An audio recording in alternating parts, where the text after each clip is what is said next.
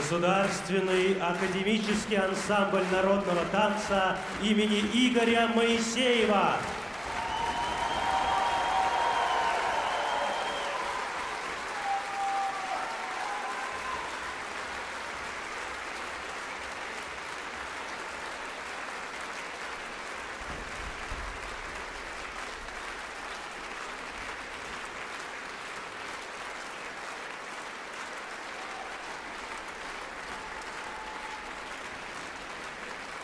Главный дирижер оркестра ансамбля, народный артист России Анатолий Гусь.